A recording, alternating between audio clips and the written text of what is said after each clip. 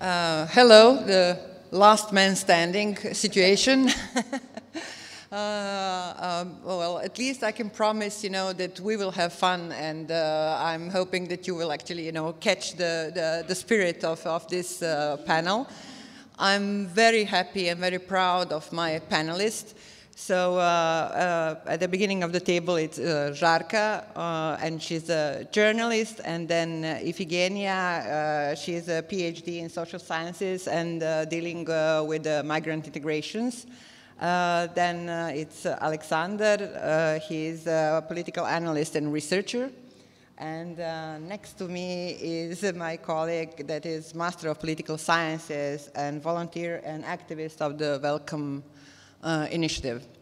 Uh, so the, as you have uh, seen, you know, by, uh, in, the, in the program, we are dealing with uh, kinepolitics, and that is politics of movement. Uh, I would say, um, I would go that far to say actually that the 21st century is the century of the migrants regarding the increased number social, social expulsion and uh, migratory resistance. Uh, the, uh, the figure of the migrant is a political concept implying that the person is stigmatized as a, a, result of its mobility. And we all know that the mobility is one of the priorities of the, uh, of the policies of the European Union, but obviously not being uh, applied to all its even potential um, citizens. Uh, so um, at the beginning, I will uh, start with the fears because you know fear Uh, is the uh, realm of the manipulation. And I think that uh, through media, but also through political discourses, uh, uh, it's been manipulated with the, with the notions about migrants and such. Um, uh, one of the also why do Europeans panic actually? So where the fears come from? So there is a fear of the terrorism. So every migrant is a potential terrorist. There is also a fear that is connected with the cultural identity that might be or is uh, for, for sure uh, connected with the majority of the migrants that are Muslim, not Christian. Uh, and also, uh, a third one, third fear might be the one that, that the migrants will snatch the poorly paid jobs of the Europeans already being there. So um, uh, we will start with that. So, Ifigeneia, where the fears come from?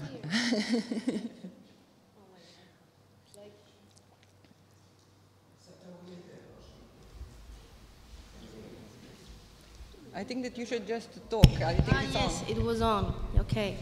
So, um, okay, it was tricky. Yes, yes. so, I so. tricked her, yeah, I admit. so I will inverse the question by borrowing some ideas from, uh, from Slavoj Zizek. Um, I bumped into a recent article on uh, what our fear of refugees says about Europe. So this he cites Lacan, who gives the example of the, of, of the jealous husband. And he says the true question about this husband is not whether his jealousy is well grounded, grounded because even if so, if it is well grounded, jealousy is pathological. So the true question, he says, Lacan and Zizek also, is why does the husband need jealousy to maintain his self-identity? So similarly, Zizek says, um, um, talking of uh, Europeans and their prejudice, fears about refugees, migrants, and all the others, uh, he points that even if uh, more or less our prejudice, prejudice about migrants and refugees are proven to be true, so they are hidden fundamentalists, uh, terrorists, they rape and steal, they, they steal our jobs. The refugees.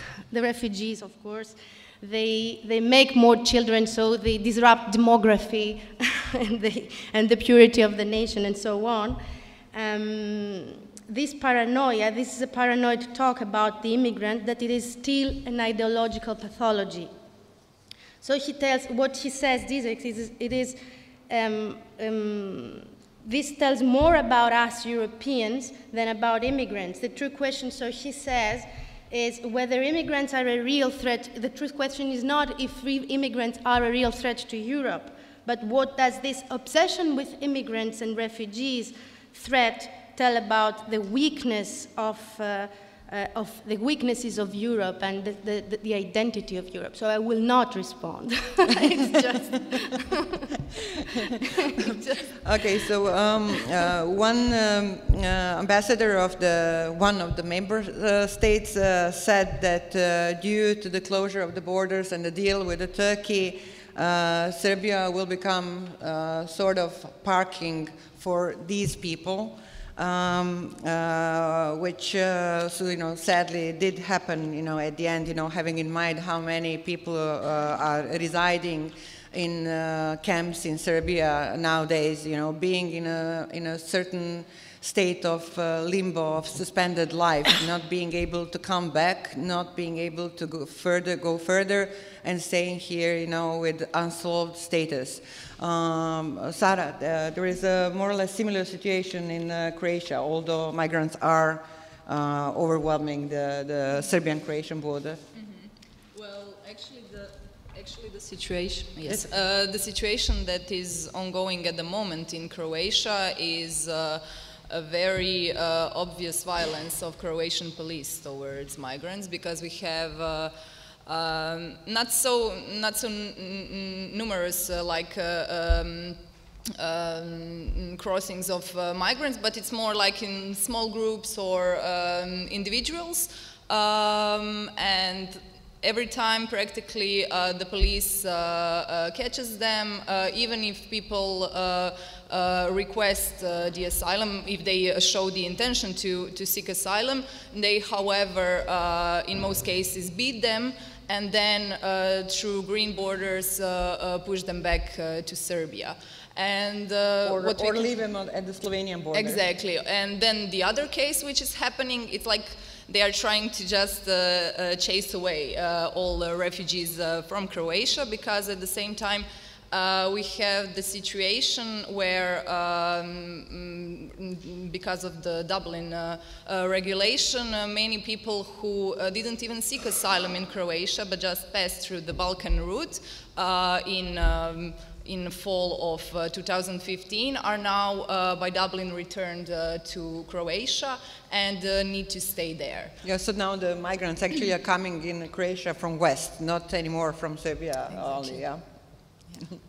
okay, so um, uh, this would be a question for you, uh, Aleksandar. So uh, the migrant versus refugee, so the uh, victim versus uh, opportunist and uh, fleeing war or migrant, economic migrant. Mm -hmm. oh.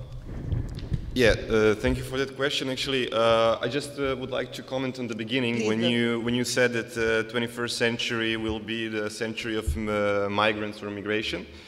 Actually, I think that uh, only that maybe last last century, but not not all.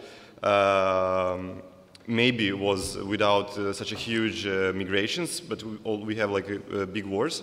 But I believe that migration is actually in the nature of, of the humans. So uh, this is not anything exceptional. Of course, uh, that's what we wrote at the beginning. Yeah, the, yeah, no, I, I, just wanted to to say that like uh, no, this is not a century of migrations. We are living migrations, and in this point, I'm more interested when this became uh, a problem when this became so-called crisis. Yes, that's it. So it's uh, actually the uh, uh, the migrant issue is not the problem. Actually, Europe is the problem. Well, yeah, because uh, if you if you even look uh, like I don't know in uh, meteorology, you have an area with a high pressure and area with a low pressure, and they are just like trying to um, trying to equalize. Yeah. Uh, that's something that's also in a, in a, in a, in a uh, human's nature and how we all inhabited all this planet. Uh, but uh, I believe that uh, we should maybe focus just to understand this, uh, this position now on the moment when this, this was um, started to perceived as, a, as unnatural. and that's actually moment when um, we, we build our borders of our nation, uh, nation states. Uh, on one side, and on the other side, especially during the era of colonialism and today of neocolonialism, uh, when we uh, destroyed the borders uh, outside our neighborhood. And even today, all this story is actually, uh, according to me, uh, one of the, the evidence that uh, colonial policy never ended, that we are still this uh, fortress Europe is actually the, the construction which, uh, which began with the colonialism, and uh, we are just uh, continue with the same policy, just in, a, in other manners. And this time, for the, for the very first time, this is the, that precedent, which we now call crisis, is actually that these people are coming to Europe, and not that Europeans are colonizing the, the other parts of the world.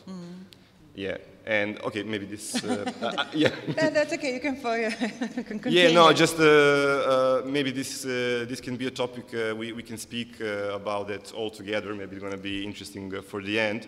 I would just like to to think uh, and to speak about what for you uh, is a difference between expat and economic migrant.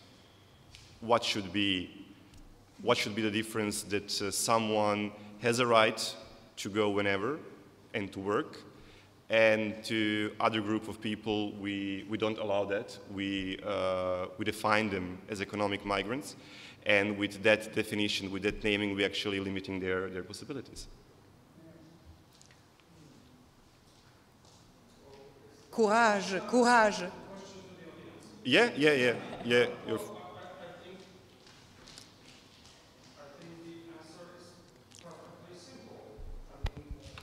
you're, just uh, I think the, the answer to your question is perfectly simple. I mean, expats are the uh, people who uh, were born and have the passport of the core country of the world, which is Western Europe plus US plus Canada plus Australia, New Zealand, Japan, uh, maybe South Korea, uh, Singapore. And uh, the migrants are the, the, the rest. I think that's, th- this is, uh, of course, it sounds cynical, but I think this is how it is used. Uh, because there is no like formal definition of an expat. Theoretically, it's the same as economic migrant, but it's not a coincidence that Americans working in Singapore uh, or Polish higher higher class professionals working in uh, in Taiwan. I know one uh, case, one example. They are called expats, but it's it's the question of the country where you were born, whether it's a core or peripheral country in the division of labor. Uh, or from what, what social class are you? If you are a high trained professional, then even being from a half peripheral Poland, you can be an expat. Uh, And if you are a worker uh, from, from, from uh, like uh, Italy, for example, uh, which theoretically is a part of the core of, of the economy, then you are a migrant. I, sorry, but I think it's just pure ideology. I mean, this, the, the, the differ- differentiation between this, this, these two notions. Yeah. there was uh, two, two more As you said, Aleksandar, the human nature is that we have to walk. I mean, we are in the movement during the history of civilization, so there is no any difference. Any person during the com- any person under the Convention of the United Nations, which life is in danger by any of those, even if it's hunger, has a right to move and the whole human beings has a right to move. And all that what is invented as a difference is, is actually the relation of the states and protection of the, your own area, your own state, and it's not under the convention. Therefore, Lola knows that we are permanently talking about people are refugees.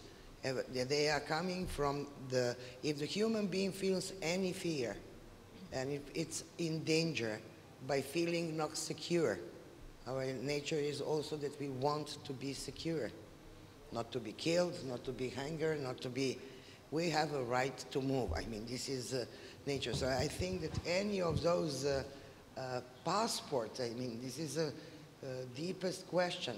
If you look at the Adriatic coast, I mean, uh, if you look to all, then think a little bit about Mediterranean and how it comes.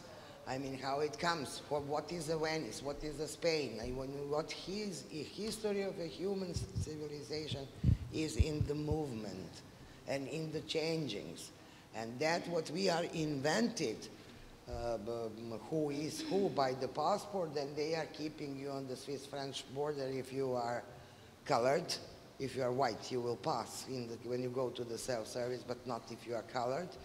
That implicate on that, let's say, being, which becomes a symbol or a human being, we actually are checking, and therefore is this Slavoj Žižek uh, thought, it's actually our pro uh, projection toward the fear of the anothers.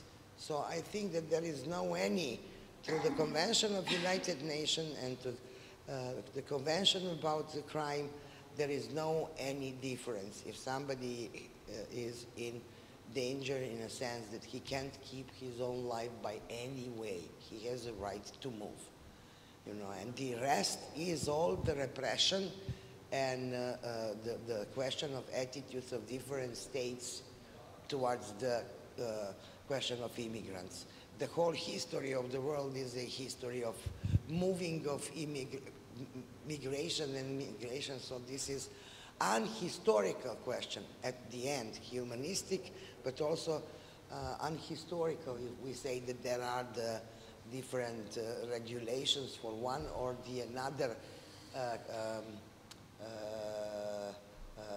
another element of, of um, uh, existence of the human being is that to be killed or to be hanger doesn't matter and it's a, a, right to work in the same time so I don't I think this is convention of United Nations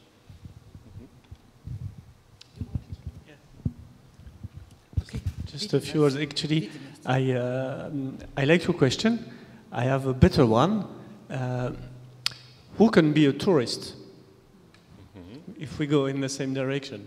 Uh, everyone can be a tourist if you're rich enough, which mm, exactly. I agree with your analytical question. But the point, the interesting point, especially in the French discourse, is this notion of the uh, economic migrant, the category they invented which means nothing. And it's very interesting that we put the economic, because we have all this ideology that the economic system is as it is because there is no alternative, it's a natural fact. And the economic migrant is the one who actually has no reason for migrating because the economy is as it is because it's a natural fact and not like the powers organized that some countries are dispossessed and then you have to live having nothing. Uh, but the, the real difference we have now, and I'm just putting this idea here, is that with the, with the internet, with the communication technologies, everyone sees the gap of wealth there is between what they have and what exists in the world. What you can see in the TV, what you can see on the, the uh, internet, what the migrants in Paris, the poor migrants, they take selfies of themselves in front of the luxury car, which is just parked in the street, to send to their friends. For the social reason, you understand, but they have to prove that they succeed. But these millions of people are doing that, and we know that such cars exist, and that I could be driving one instead of living in a place where there is dirt road, no electricity, no water. And this uh, uh, fact that the, like the cat is out of the box, we know that we can live well because some people live really well on this planet. It's not so, something that people are going to forget or say, oh, too bad, in another life, not for me. It's um, because there is really too much uh, at the reach of some people and everyone wants to be the ones benefiting from it. This we will never ever going back to the, the, the, the, the gap of wealth with the ignorance that really existed in the past. Mm -hmm. uh, the lady. Yeah. Okay, yes, thank you. Uh, um, maybe, uh, okay, I will try not to overlap the previous uh, um, sayings. Uh, thanks for the question. I'm not sure I, well, I mean, I totally understood the way you wanted to put it, but I think I would say that um, actually, uh, migrant or refugee is also an expat. So the, the, the, the, difference is just the, the way we put it by the political norms and the legal norms that are, that are raised to, to, to, to, uh, to create to, to construct, to build uh, public policies towards certain categories of people, and so the need for categorization. Uh, for example, in France now, yeah, there is, there is even, I think some weeks ago, there was a kind of exhibition, commercial exhibition for pensioners wanting to, to have uh, riad in uh, Morocco, and so they become, yes, pension, pensioners buying themselves a, a, a, nice house in, in Marrakesh or, or elsewhere in, uh, in Morocco. So those people also new, a new kind of, uh, new kind of expats, and, and they are even welcomed by the very governments from Morocco who at the same mm. time makes the situation like people want to, to, to, flee Morocco. But I wanted to add that I think even besides the, the question of the convention and the right to move, um, maybe people well, I do think that people have the right to move even if they are not frightened by something. And actually, expats, when they decide to, to move, sometimes they are not frightened by anything. They just want to, to make their life more funny or something like that. Uh, and so, okay, so maybe actually between two villages in Senegal or in Ivory Coast, you, have, you can have different people. Some of them would go to, uh, want to go to Europe, other not. Maybe they are, the, the, the, one, the, ones who go to Europe are not more frightened than the ones who don't go to Europe. I mean, I think all the scholarly works uh, have proved that for many times. So I think we have to, to get out of this categorization, uh, which is uh, just uh, to feed the, the fears and to feed the kind of repressive policies, actually. Mm -hmm. Thank you. Yeah. Uh, Wahida. -huh. You want to say something? Yeah, yeah. Okay. Vahida, može sačekaš samo ovaj, uh, uh, Ifigenija, pa onda ti. Može? Može? Hm? Aha, okay. Ne, ne, ne vidim te, kaži. Htjela sam nešto Aha, okay, well, kaži, kaži. Just uh, short, maybe the, uh, like, uh, the question uh, seemed a bit strange to me. It uh, seems a bit uh, like a romanticized, if, like the question if uh, like people are uh, free to um, migrate and uh, move. It seems like, uh, and with the economic migration, yeah, it seems like looking for better opportunities or so. But I think like, or what I saw until now, like with some contacts with uh, refugees, and I would call them refugees more than uh, migrants now because that people are escaping. They are not uh, looking for better opportunities. They are really escaping from the uh, war, like uh, mostly from the conflict. I mean, uh, like every, I don't know which day, like there is some information from uh, there are families that someone is killed and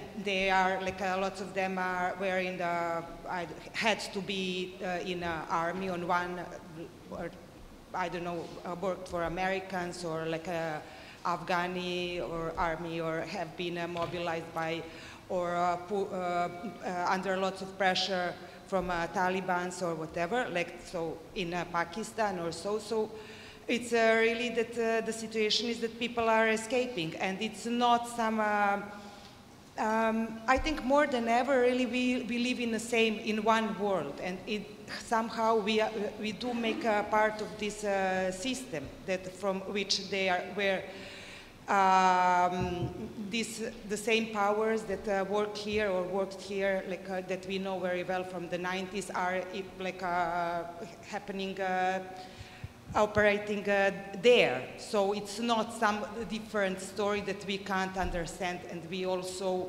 are very much closer to, to all these mechanisms that uh, than um, it appears to us. So I think also we here are, uh, somehow, uh, somehow in uh, like um, um, pozadina, kako se kaže u vojsci, um, um, like a retaguardia, like the um, pozadina. Backdrop. Yeah. of the same uh, story, yeah, so. Okay. Thank you. Uh, uh, Ifigeneia, do you want to add? Yes, I want. I want to add something. Uh, uh, I think it is an important question, and thank you. And I will. I'm, I'm, I'm sorry. I'm afraid I have to disagree with the last uh, okay. with with you because I think that these are not just categories, and uh, and it is it, it does matter how we label things. And I will put aside the neo-colonialist uh, intro introduction you said, but I think that there there's a huge class distinction there, and I will not go further. But for instance, I come from the uh, from academia, in fact, I'm a, I'm a, researcher, and it is not a coincidence that, um, for instance, for expats and all these high qualified migrants in, in brackets, because they are not supposed to be migrants, uh, that everybody wants to take them, you do US, Europe, and so on, they have been labeled under the headline, let's say, mobility. We never hear of migrants and about migrants, economic migrants may, mainly, but also environmental migrants, so the poor that have to escape hard natural uh, hazards. Um, this is immigration. So there's a, a, a clear distinction of um, the poor and the rich. Yes.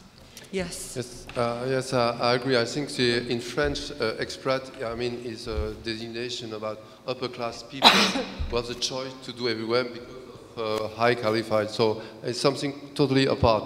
But to go uh, back about the uh, movement of human beings since the origin, I mean, there always was a two movement of, I don't know in English, but in French it's nomade et sédentaire. You understand? Mm -hmm. Translation? Okay. Okay, and that's a dynamic, but it's not always, I mean, uh, some sedentary want to stay in the place they, they have. I mean, they settled and it's okay, that's fine, and my children too, and the children of children. So I think the movement is not uh, the, the, the unification, it's a free choice or not free choice. And for different reasons, is a more or less is a question of the threat, death threat or at short distance for war or at middle distance for economic reason. This is a movement you don't choose. And, and it makes move, maybe, uh, and also in human history, when big people decide to move, always it was because there was pressure, different kind of pressure, and then the people decide to move. I mean, exceptional uh, at the question of nomad peoples, but there are very few people in general in human, in human history. Sometimes they have a real good important power in the, the, when they move and they decide to settle. For instance, Mongolia, stuff, a lot of sto stories of it. But I think the main difference is uh, they, they, they, have no choice. And maybe, I mean, uh, in, for the village, Senegal village, uh, two people, one will stay, and all, but it was only in each mind the feeling of the threat. But the man who moved is always under this pressure. He has no choice and he has to, to move. So for this, it's, it's uh, nonsense to make so big difference, like in France, between economic migrant and uh, uh, uh political migrant. Also because, I mean, uh, uh, the, the crisis, it has real consequences on human life. So at the end, it's a war, a real war, war with weapons and war with economic weapons, which is not so different. So for me, the, the, the, movement is the same and the analysis is the same. Okay. Thank you. Anyone else? No? Uh -huh. Okay, so we have uh, Sara wants to add something. And Žarka, you also? Yeah? okay, so question was basically um, about the the distinction and uh, relation of uh, expats and um, economic migrants, but what uh, what bothers me more is this forced distinction that happened like uh, a year and a half ago between economic migrants and refugees because we are uh, not we, but like media and public it, it's are a bad guy, good guy. Uh, exactly. Uh, so we have like these economic migrants who could stay home, but they are like coming here and taking everything from us, and we have poor refugees that we need to help. And then um, even throughout um, the crisis, uh, it was like one month the Afghanis are refugees, but the next month, no, we decided now that they are economic migrants. And uh, I think that the biggest problem is that uh, we are at the moment uh, narrowing the, the um, the meaning of refugee and uh, that the political elites are really trying to narrow it and are at the same time ignoring that uh, everything that is happening in the in the world is actually uh, uh, producing new type of uh, refugees and these are refugees who are coming from completely destroyed uh, societies where, where they cannot get any education, where they cannot get jobs, where they are hungry, where um, um, climate issues are so big that they don't have any food to eat uh, in any way and water as well. And uh, I think that this is even bigger problem than this, uh, this distinction between expats and economic migrants, which is, uh, for me, more or less a, a class question. And uh, um, in Europe, I would say very much also um, a racial issue. But, uh, but I think that this one, this distinction between economic migrants and refugees, that is like actually there is a big tendency of using it in the last almost two years, I think it's provoking even more, more damage uh, for them. Yeah. Žarka? You just concluded the, the question, yeah. No, I just uh, I just like to uh, to say the the, the reason uh, Yeah, you of this dropped the because bomb, yeah. yeah, Yeah, yeah yeah because we were speaking about fears and I just wanted to stress about these fake constructions basically between uh, the uh, the expats and uh, economical migrants. Uh, because that's actually one of the indicators of, uh, of our fears, but that I'm going to speak in the next round.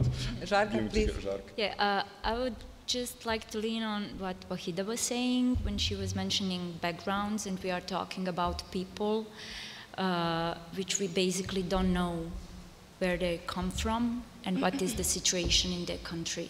So we have at the moment uh, the situation that we have uh, uh, uh, agency news, uh, very low profiled, uh, about what has happened today somewhere, and we have numbers of some people drowned or killed, and nothing else. So uh, basically, we don't know when we're talking about the refugees, or if you want to say economic migrants, or whatever you want to use. In and in both cases, we don't know the, the background of those people, and that is uh, basically the problem of media coverage of, of this issue. It's uh, the, the, the question of, it, it's basically the fact that journalism uh, fall into propaganda led by politicians. And when we, we can, make, we can uh, for example, take uh, the, the, the expression of refugee crisis, all media are using it from the beginning, even though we don't have refugee crisis. It's not refugee crisis, it's a crisis of European institutions. It's a crisis of European policies if we want to talk about that. So, um, what is difference between, for example, 2015 and 2017 is the fact that today we don't have basically media coverage of so-called refugee crisis because that is a policy of European Union today. Those people are not existing. We have in Greece around 50,000 people 60,000 people, even worse, and we don't know issues, problems. We know only the, the, the situations when some camp is burned down, or uh, if we have some strike, and something like that. So, um, for example, if you want to uh, sell as a freelancer story today about the refugees, you can't do that because media are not interested in that. And that is a really, really uh, big problem. Uh, yeah. Uh, regarding Serbia, but I think the, the, the problem with media is global. But since I live here, I would like to, to, to point that out. Uh, Serbia, uh, media in Serbia are functioning on a very low level when we talk about uh, media coverage of, of uh, issue of refugees in this country. So we have basically news and we have numbers of people who are coming or leaving or staying. And that is all that we have. We don't have uh, a broader picture. We don't uh, have, I don't remember any story in, in last year or more uh, about the situation in Syria, some analyses about the situation in Afghanistan. Do we know, have we ever heard about Kunduz before uh, USA bombed uh, a, a hospital of, of, of doctor without, Doctors Without Borders? And for example, if you want to, uh, the, the, um, what happened a week ago in Kabul, we had big news that there was two explosions in diplomatic area of Kabul, and there were like 150 people killed, mostly civilians. But two days after, and that was a huge news. But two days after that, we had uh, huge explosion on, on funeral in Kabul. And that was just a news. So it's, it's, uh, it's basically how we approach to, to, to, uh, to, to a problem. If we, that's why we have fear. That's, that's why it's not problem for some tabloids to make fear mongering, and that's why we have so much uh, sensationalism. Sorry. So, just to get back to Serbia, uh, the problem with Serbian media is that uh, covering of, of refugee issue is basically very shallow. Uh, uh, we have at this point around, uh, officially around 6,000 people in country. Unofficially, we have around 8,000 people in the country. And all we know about them is the number, and we are not sure about that because we have different numbers of UNHCR and NGOs who are in the field, and we have different number of official, of commissariat or state. Uh, we don't know who those people are. We know only that they are coming from Afghanistan mostly, Pakistan, and that's it. Syria is not even mentioning anymore. Yeah, and uh, by the far most common uh, description of immigrants is illegal. Yeah, so exactly. it's, uh, you know, by uh, the, some of the researchers, so the word illegal always goes with the migrant. So it's also, you know, sending the message to the uh, public. Yes.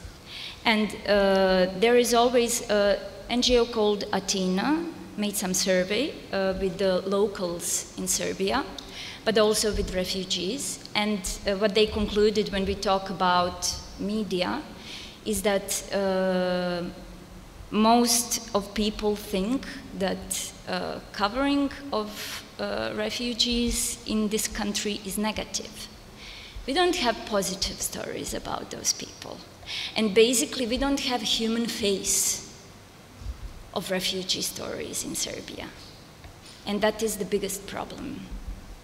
And we are going to change that. Yeah, hopefully. because we are working, you know, on uh, more than one project that is dealing actually with, uh, with the issues of migrant policies and so on. And we are uh, actually uh, talking uh, a lot and we are trying to establish some kind of uh, leadership among the migrant community, especially targeting young, young, younger generations. So uh, in that line, um, uh, Ifigeneia, you know, I would turn now the, the floor to you regarding the disadvantages and due uh, the lack of uh, formal education. Uh, what are your experiences with that? Okay.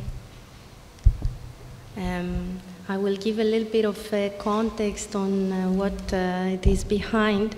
And okay, probably it depends on the perspective, but we can say some, somehow that maybe there are positive stories and news about refugees in Greece, and then probably not. It depends on, I will come back to this later.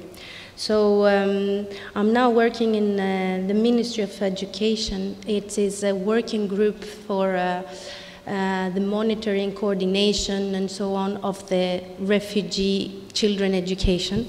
And um, how did we get there? I mean, in March 2016, you all know that the borders were closed and, in, and practically Schengen was suspended. So we had something like we still have, and we still don't know exactly the numbers, but officially about 62,000 people stranded in Greece who do not want to be in Greece. Um, the then um, Minister of Education, who was, parentheses, kicked off by the church, so we have a new one now, um, had a vision. It was uh, about these children, that these children, refugee children, should get some, should become a little bit happy knowing that they're coming from the war.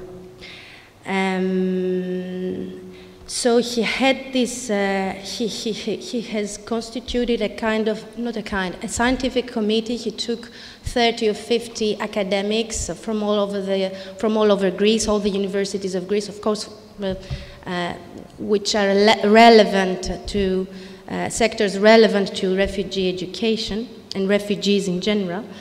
And uh, they constitute a, a program of how to get uh, the refugee children into Greek schools and to integrate them into the educational system. And in August, uh, uh, last August, in fact, 2016, they constituted afterwards a working group, which I'm part of, to implement this plan. So basically, we have we, we count more or less 62,000 people stranded in Greece. About 18,000 there children of age to 0 to 18, youth also. Uh, about 15,000 should be of school age uh, 6 to uh, primary and secondary school.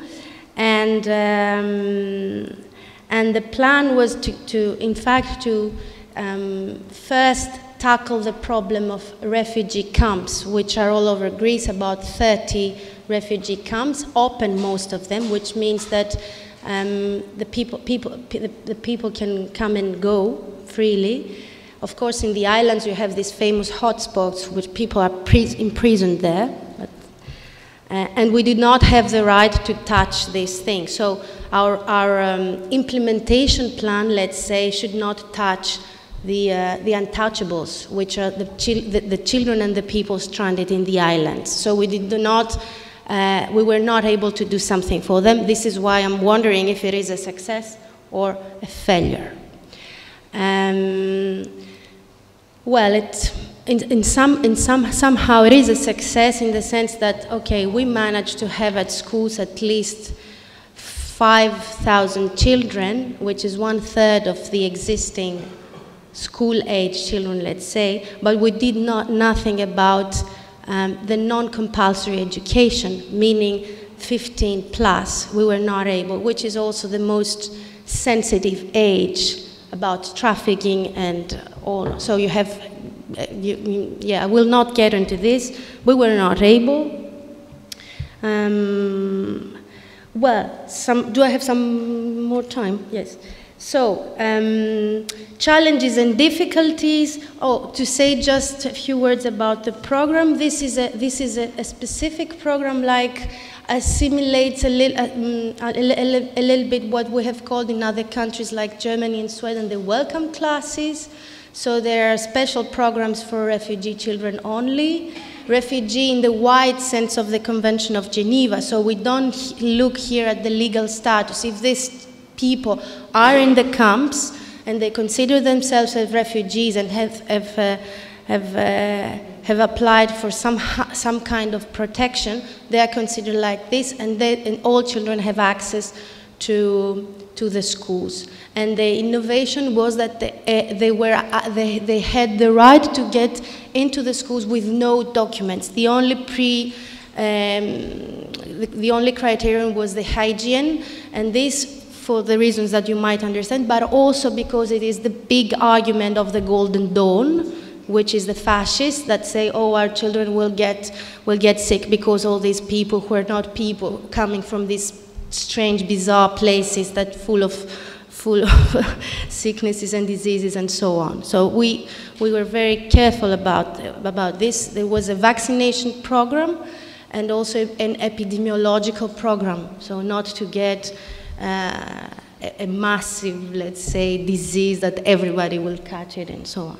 So the program was, uh, the bad thing is that these children in a way, and this is a huge critique also to the program, kind of ghetto, ghettoiza, ghetto, yes, um, because it's the, the, um, the afternoon shift, so when most schools finish, this starts, it's two to six, um, but this, but there is some good aspects. At least personally, I think there are some good aspects because you protect somehow these children, because um, not all schools were very friendly with this with these children, and also it was a, speci a, specific program to get them how, however, into to, to, to give a boost to their schooling because you have children that have not been to school, they're 15 years old or they're 10 years old and they have been only two or three years to school because of the war. So you have different ages, different schooling ages, different, uh, different needs, different languages, everything is different. okay. Well, the program was, um, they are taught English, Greek, ICT, so computer science, physical education, and arts and the idea behind was to get them ready somehow, to get them not ready, but used to some kind of normality, school normality, wherever they will be in the next four, five, six months, one year, either in Greece or elsewhere. So the idea was not just to do history, to learn the Greek history and so on, but learn some Greek if they will stay in Greece, but also English and, ma and maths also, sorry. So uh, this is about the program, and, and, the last thing I will, I, will, I will say is there are huge challenges and difficulties, and the first one is the lack of funds. Um, let me remind you that Greece is in a huge crisis the last seven years, not to say ten. So apart from what one can understand only for this, from this statement, there's also a formal one that it is you cannot move because of the troika, you cannot, um, the, the, the nothing passes in the, from, uh, if, if it has some public cost. So if you need specialized teachers and you have to pay them more, but it will not pass. So we had to deal with this problem with, with very small um, budget. And um, on the other hand, we had to face, and I'm sorry, I know that I'm in an NGO environment, but we were con concurrents with the NGOs and international organizations who received huge amounts of money, um, mainly through DG ECHO, probably you know it is the, the Commission's humanitarian sector, and also AMIF, this new fund they, they made for, um, for, for, for refugees and migrants. Um, so to provide non-formal education. So our relation as a group, as a working group with the organizations, of course, now it's, it's, it's much better than it was like, say, before Christmas or even before Easter, I would say, before April, because we were concurrents in the sense that if children are to go to school, they will, they will not go to their non-formal education activities, which are they are paid for.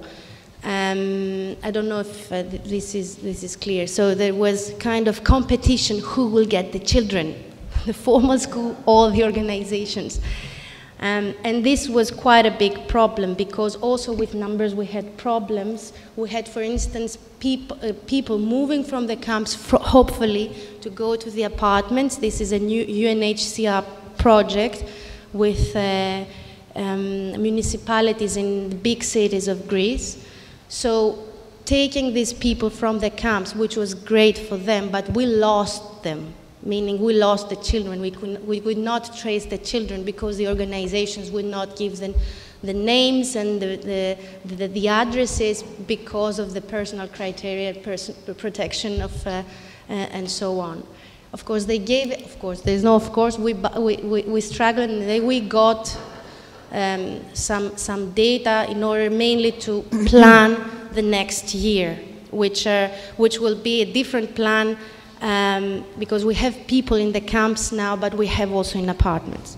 So this was a second challenge. The third challenge is what i have just said, but in, in, a, in, a, different way. So, moving people. There's a huge fluidity, and it is not necessarily the numbers that are problematic. We're more or less around 62,000. Um, but these persons are not the same and they are not in the same places. So you have people registering in one camp and because the situation is better in another or they have family in another camp or in another camp in another, in another city or in another region, they will move and then you don't know who is going to, who is, who is um, at, at each moment for, for how many children we're talking about. So and also, you, mm, you, have to imagine that these are mainly big camps, so you have a huge quantity of, of children having to get into some schools that are already full because remind, I remind, recall this, this story of the Troika. You cannot just open schools like this because this, is, this, this um, increases the costs for public education. So this, this, was another, um, this was another problem. Um, okay, shall we continue so that uh, that we maybe yes. animate, you know, the, yes. the, the, public, maybe yeah, drop another question. Problems don't stop, so yes. We all can talk uh, for hours can, about our topics, that's for quite sure. So uh, now we are going in the, a bit different direction. So while art itself might not change the world, it is clear that it can empower those who will. So Alex, I'm calling upon you to tell us uh, briefly about the project SOCAC, uh, project on uh, diversity and curiosity that uh, you've been uh, working on. Mm -hmm. Uh, yeah, that's a project we are working together, and the main the main aim and the focus of the SOCAC project is on on the young people from the refugee from the refugee community. Uh, where we uh, where we uh, work with them through the workshops, artistic workshops, in aim of their empowerment, but also of their socialization. And uh, what we insist during this project is that uh, the participants should be both from the local and the refugee community because we believe that integration is a two-way two-way process and that uh, we necessarily should include the, the local uh, population. Uh, which um, uh, which also will be exposed to, to the influence uh, of, of the other community. Uh, this is this is at the beginning. So we had two workshops until now. Mm -hmm. first one was. Um, theatrical. It was like a small sm small performance held here. Uh, the other one uh, was a workshop of photography. Uh, and we we're intending to develop it develop it further. Uh, but, but, actually, actually using art and culture as a means of uh, of, the, of the integration process. Yes. Yeah. Yes. yeah. So this is the methodology that the project is planning to uh, go on with. Yes. Yes, and we are we also have a cooperation with uh, with a different uh, artists uh, from the region, but also abroad, yeah. like with the... Also with Center for Peace Studies yes. and also with the Symbiosis from Thessaloniki. Yeah, yeah. Okay, could you tell us uh, more about your experience, you know, with the uh, uh, Welcome initiative? Mm -hmm. Okay, should I maybe just like shortly give like a description of yeah, just, just, just briefly. yeah.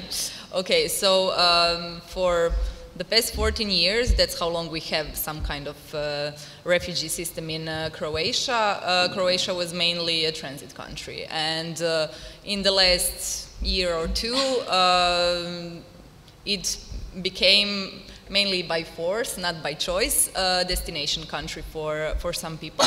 we are still talking about very small numbers. Uh, at the moment in Croatia, we have like five to 600 uh, uh, asylum seekers, and up to now only, so we're talking from 2003 until today, uh, less than 300 asylums were approved, or uh, so internet, international protection. It means either asylum or subsidiary protection. And uh, in terms of integration, uh, we still don't have efficient integration system in Croatia. Um, and when we do, uh, for example, then the action uh, plan for integration is, um, is actually composed of um, things that are already written in the law and should be uh, already like normal and done, but are still not. Uh, so everything regarding integration in Croatia is basically volunteer work of NGOs and individuals that's somehow how the uh, initiative Welcome also appeared. So Center for Peace Studies was, uh, I would say, the only actor on the scene uh, regarding refugee uh, issues when we talk about uh, not humanitarian aid, but really advocacy, activism, and so. And uh, when the crisis um, emerged and continued from Serbia to Croatia, uh, Center for Peace Studies actually uh, um, came up with the initiative Welcome and gathered more than 60 NGOs from Croatia and also one uh, football club that I need to mention because I like it very much. Uh, it's actually a, a, local football club uh, called Zagreb 041 that was established by um, former uh, um, uh, supporters of uh, Football Club Zagreb and who actually had the idea of uh, um, club that is um, based on participation of the members and that ignores any kind of um, um uh, for example, um, racism, uh, homophobia, xenophobia, sexism, or anything else and uh, they are very important because they uh, include actually refugees into their um, trainings and games and everything, and uh, they also uh, gave a lot of support uh, at the field. Uh, so besides the NGOs and, um, and the football club, we also have more than 400 volunteers that are part of or were part of the initiative until now. the initiative was actually made as um, it's some kind of support uh, for the refugees uh, in Croatia, but it wasn't uh, um, primarily, um, I mean, it was primarily uh, uh, tackling uh, the direct work and help at the borders, in the camps, and etc. But the, mm, the main thing was also to um, to um, make advocacy for, for uh, refugees, uh, not only on Croatian level, but also on European level. Well, what about your personal level? Mm -hmm. My personal level was that for uh, uh a year, uh, a bit more than a year, I was coordinating the initiative, which means that uh, practically during the um, during the existence of the Balkan route, I was almost all the time in the camp uh, I would say that like half month I was home and then half month I was in the camp. And um, it is, um, it is actually uh, terrifying when you see how, um, uh, how media and politics uh, can turn things around and how, um, how things that are happening on daily basis are not visible to, uh, uh, to broader public, how they will only get the information about some kind of violence. Um, uh, we will start talking about national security and so, but um, actually how the things are happening and uh, what kind of uh, um, future these people have, what they've been through and everything else, it's actually not visible. Mm -hmm. Yeah, and I would also say that, uh, maybe just to connect it with what uh, was saying about the media. Uh, for example, when the crisis started, um, uh, if we're talking about uh, Croatia, uh, first of all, everybody was like, uh, you know, uh, think about solidarity, we need to help and everything. And really normal people, like people from Slavonia, which is like uh, the, the poorest part of Croatia and that has its own very, very tragic history regarding the war that happened in the Balkans in the 90s. These were people who really gave everything they had, you know, like opened their homes and everything. And then we can see like through time and with some terror attacks in Europe and so, uh, how the media really changed uh, changed people people's minds really because I know when talking to like regular people that are not into this topic uh, from from their comments like, oh my God, that, that's a great work that you're doing, uh, they were like, aren't you afraid? And, uh, and they all switch this to like, we are talking about terrorists. Mm. And we can also see it now in, on the political level in Croatia, uh, which I uh, personally think is really, really um, um, dangerous at the moment because uh, we have uh, at the moment uh, situations where families where, with little kids are getting uh, negatives on their asylum applications by, the, um, uh, by the decision of the Security Intelligence Agency. Uh, and which are not actually explained because they have the right to, mm -hmm. you know, like keep it uh, private.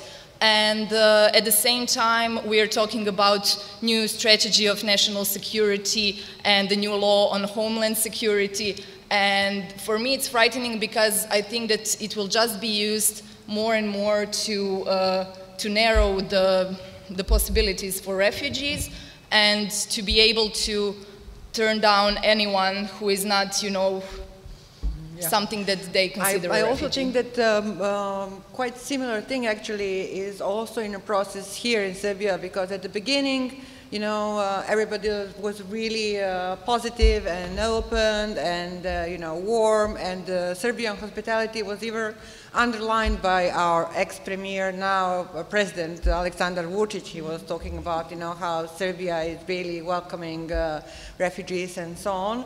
But actually, I think that, you know, this optimism was based on the notion that uh, Serbians knew that the migrants won't stay in Serbia, so they will go and they will become somebody else's problem.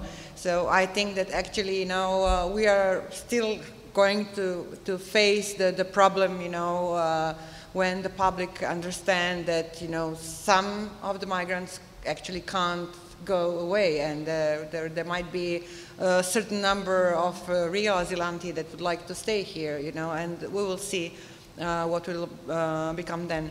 Um, I wanted to ask you, Žarka, because uh, you were a lot on the terrain, you know, and you were talking with a lot of, uh, a lot of uh, migrants, refugees, uh, asylum seekers, etc. Uh, could you tell us a little bit about your experience and, uh, you know, what did you find out? Yeah, I would, I would just like to add something about the, the integration stories from Croatia. I think the, the, the most beautiful story that I know is Taste of Home. Mm -hmm and I would like to, to have that here. Mm. It's, it's really amazing project. It's based on, on refugees who are cooking their um, traditional meals and they are doing catering yeah. for everybody. And it's really wonderful.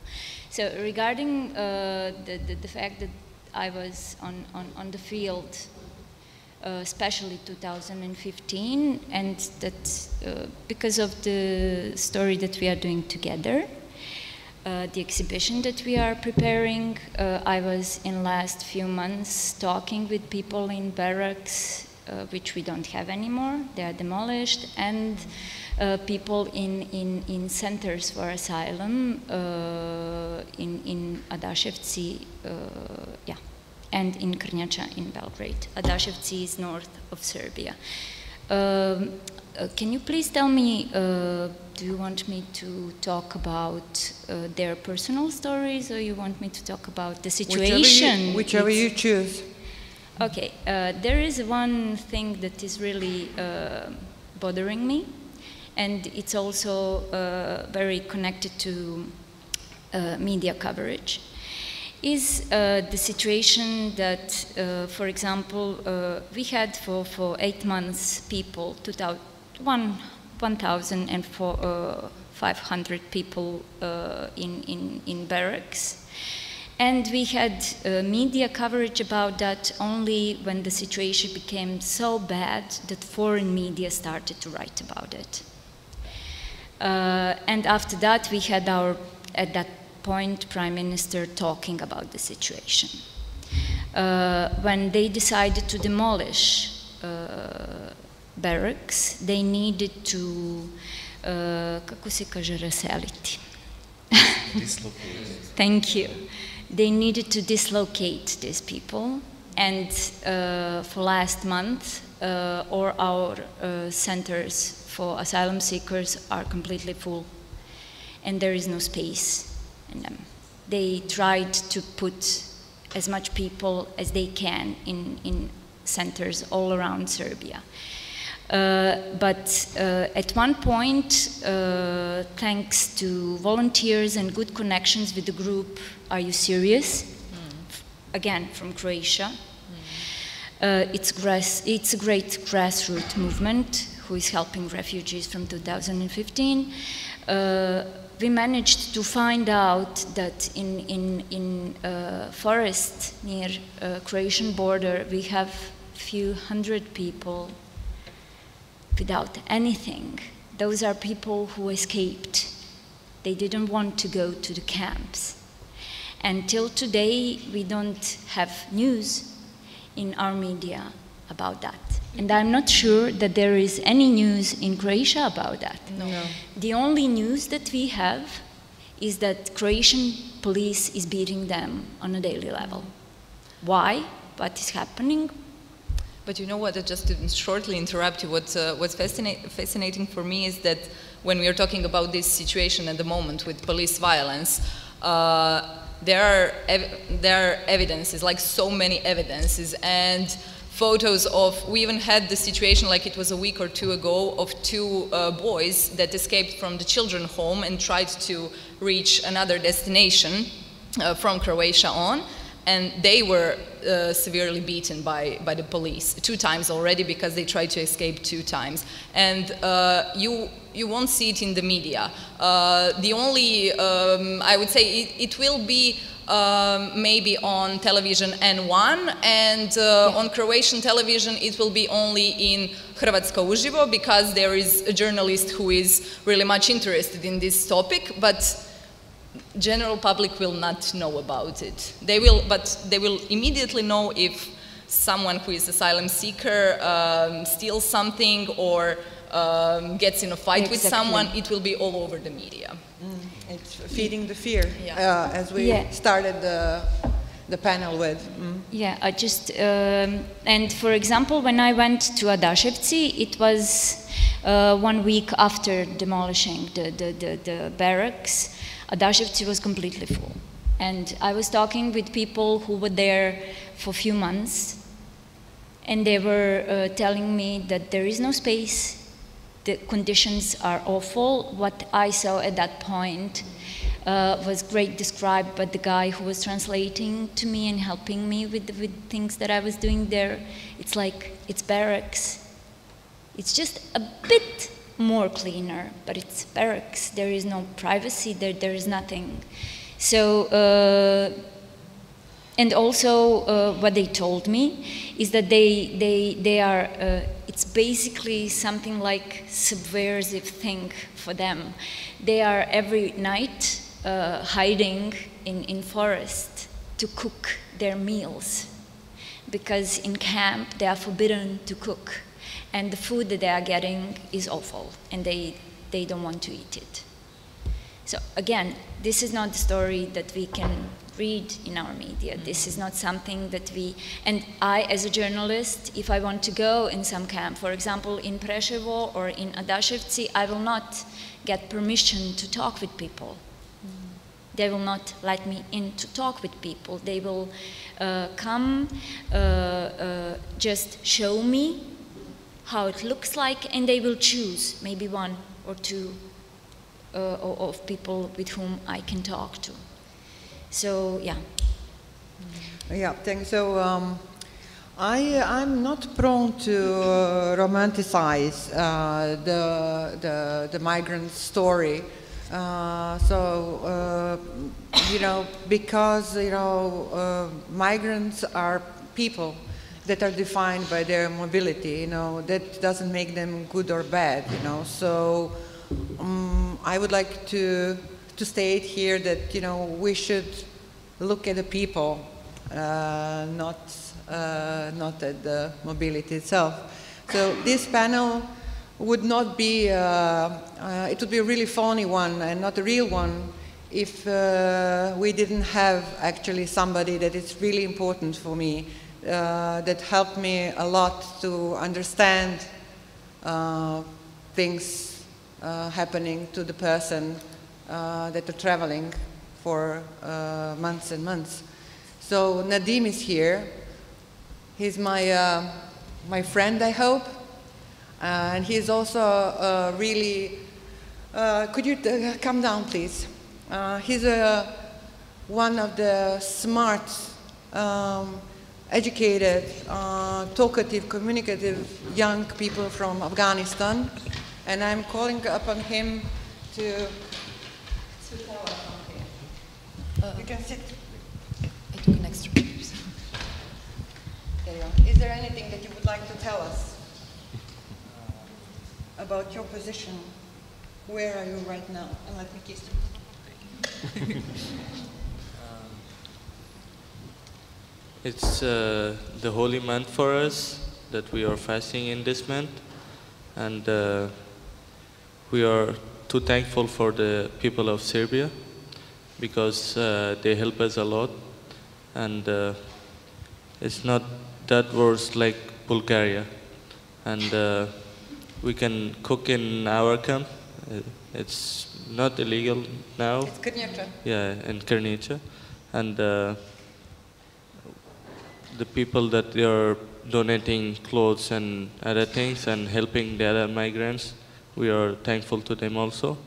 And uh, thanks for Lola that they made some kind of workshops for refugees and helped them to get to know about the people of Serbia also. And if someone asks some questions, so I can answer them. Thank you so much, Nadim. Okay, so I don't think that we're going to uh, elaborate more because we will go to and chat tomorrow as well. I'm inviting, you know, the you people, you know, if you have any questions or want to comment on the topic before we close uh, the panel. No? Ah, okay. Soron, je t'en prie. One little comment uh, to, to, to Žarka, because you, you said earlier that uh, this whole is not a crisis of refugee, it's the crisis of uh, European uh, policies about migration, which of course I agree, of course it's true, but the deeper truth, it's the crisis of the European societies, the, the crisis of welcoming.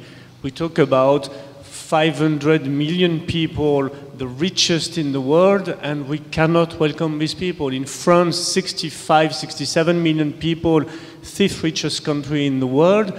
We were in crisis because 30,000 Syrians maybe would arrive. But the real crisis, with the titles in the newspaper, the politicians talking only about the really manufactured crisis of course.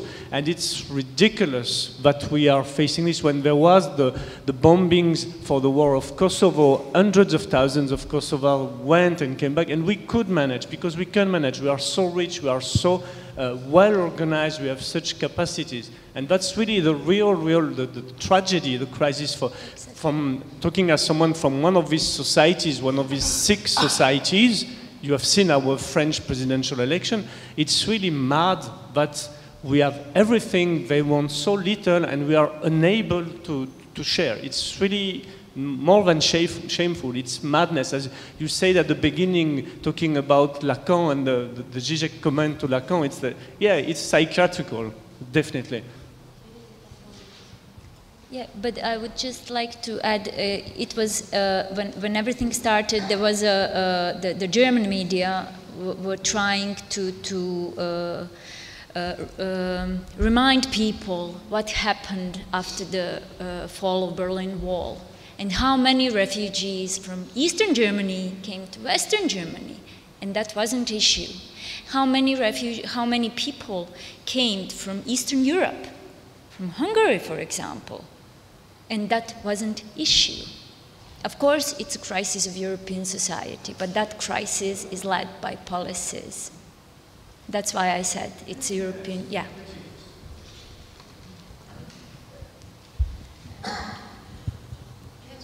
Maybe a small, uh, a small addition, I think, to, to make maybe understand the difference in the perception. And maybe this difference of perception is now, um, will vanish with the time between uh, maybe Balkan countries, Eastern European countries, and Western European countries, where there is a tradition of immigration for southern countries because of the colonization.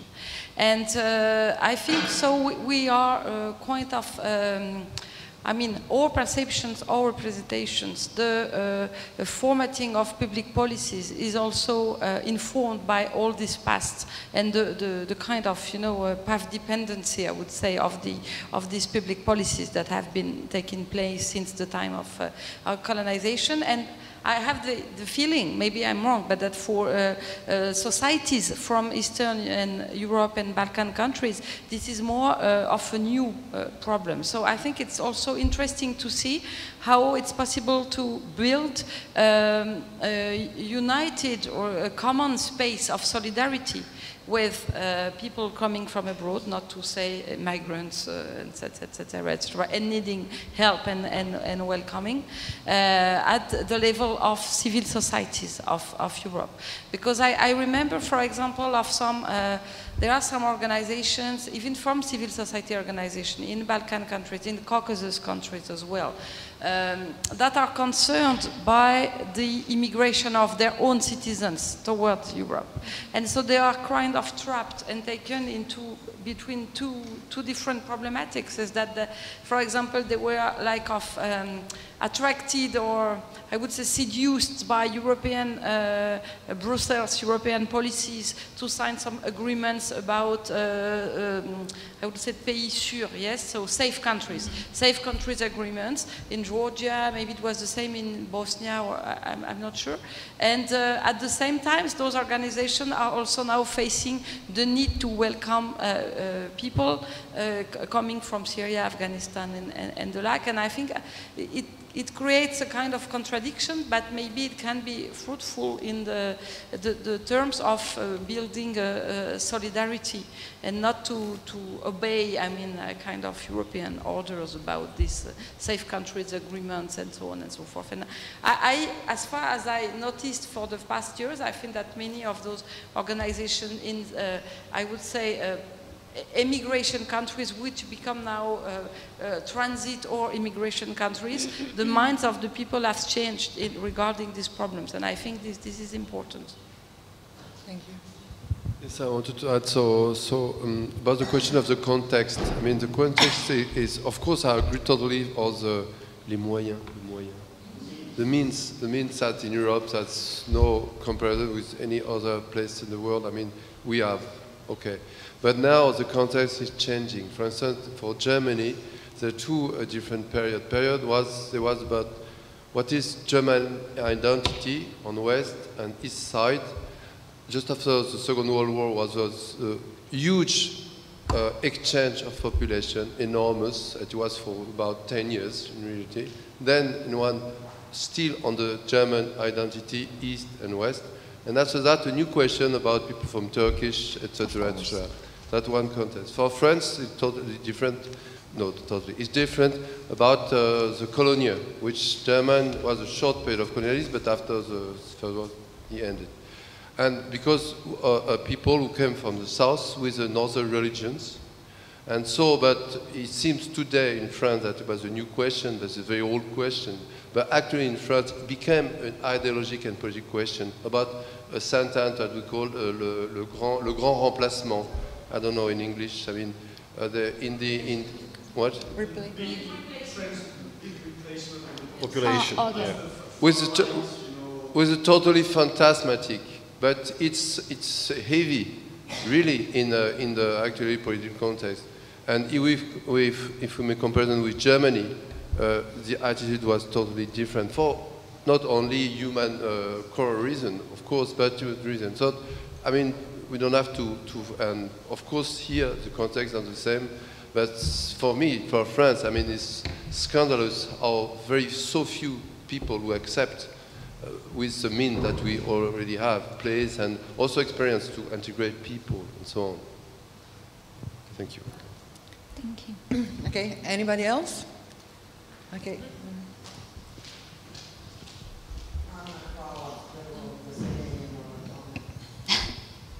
Uh, for me, as a young uh, woman and activist, it's very interesting uh, when a crisis of Europe or migrant crisis, how, how, however, uh, it's um, because we um, who live, people who live in Bosnia, Serbia, and Croatia, for me, it's interesting how we forgot uh, that feeling how to be a refugees or migrants because we are refugees in 19th and why we uh, feel the fear about the people who come from Middle East. For, for me, it's not, I, I don't understand that because we have been in this situation and now we hate these people. I, I think that it's my feeling about that.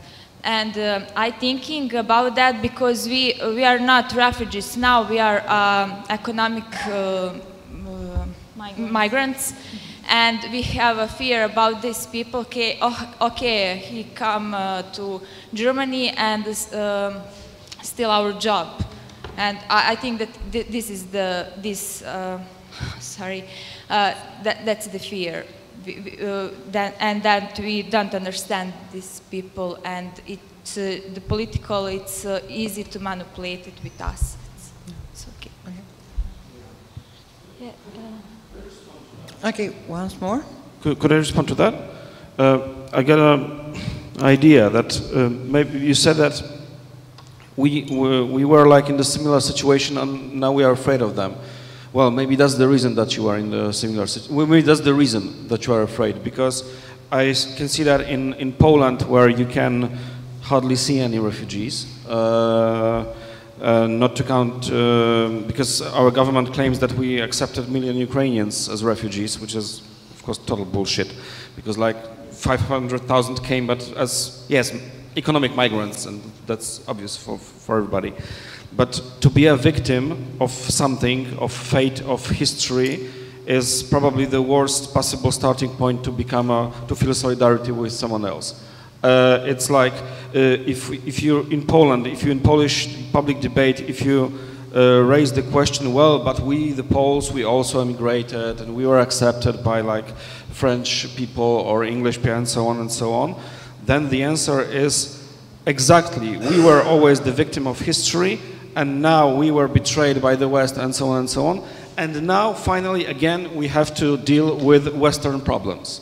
So, like the fact that you had a war, which, as far as I understand, is by many people here uh, perceived as something that was somehow caused by like Western powers, Germany, US, but nevertheless that you can feel a be a victim also part not only of your own nationalism but also of the Western influence, then actually it's quite, in quotation marks, reasonable to claim, uh, well, uh, and again, uh, now we have to, uh, now we the people of former Yugoslavia, Serbs, Croats, uh, we, we, have to deal again with the problems that were caused by Western people and now they try to like push this burden onto us.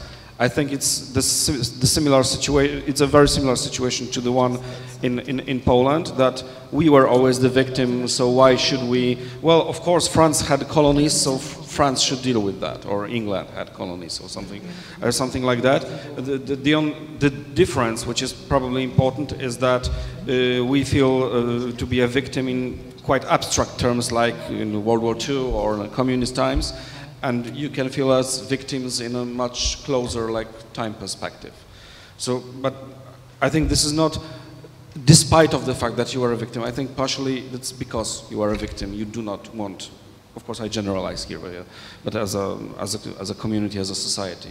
That's, uh, it's, if you are a victim, it's very hard to feel solidarity uh, in the existential level, in the collective level, uh, victims do not feel solidarity. I, I, I, I think so. Uh, okay, well, we can uh, continue for, this. Sorry for uh, simplification. Okay, we can continue this uh, this over our dinner. Do you want to yes, add I something? just wanted to um, comment on this comment because I'm from Croatia and I don't consider us as the victims because if we are part of NATO, if uh, we uh, participate, not we, but our politicians, if they participate in the uh, uh trade of arms uh, and so, uh, we are complicit in everything that is happening in the Middle East. So I say that it would be really irresponsible of us to claim that we are victims when actually we are part of this big problem that is causing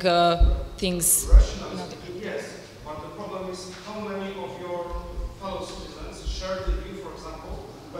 all complicit.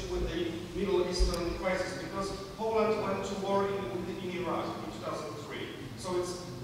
the major, but we are, yes, that's obvious, but the majority of my fellow citizens